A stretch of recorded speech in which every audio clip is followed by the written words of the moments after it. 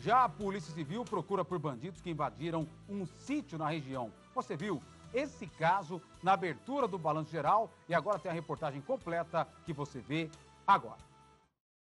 São 7h40 da noite, horário em que três criminosos chegam no sítio na região de Cristais Paulista. Um deles está de cara limpa, parece não se importar com as câmeras de segurança. Já os outros dois estão com o rosto coberto para não serem identificados. Após observar o local, o trio percebe que não tem ninguém e invade a propriedade. Minutos depois, eles aparecem tranquilos, levando uma bolsa com vários objetos. Desespero para a proprietária, que prefere não se identificar. Ela conta que tinha ido à igreja junto com a família e, quando voltou para casa, não acreditou no que viu. Nos deparamos com a casa, a porta toda arrombada, os cachorros muito assustados, latindo bastante e tudo revirado, tudo pro chão, as luzes todas acesas, que a gente não tinha deixado acesa, e a gente, ao chegar, a gente já viu que tinha alguma coisa errada. Aí, ao adentrar dentro da nossa casa, a gente teve essa infelicidade. Os ladrões arrombaram uma das portas da casa e vasculharam somente o quarto da vítima, onde pegaram uma caixa de joias e uma TV que estava na sala. Na garagem da residência, eles levaram um triciclo avaliado em mais de 10 mil reais.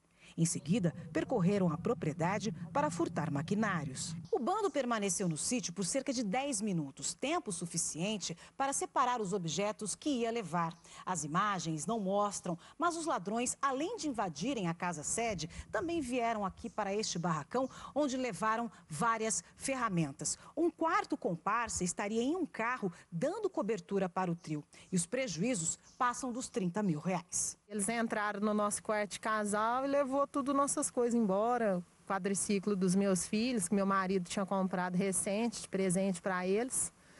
É, entrou no barracão nosso também, que tem as coisas agrícolas, ferramenta.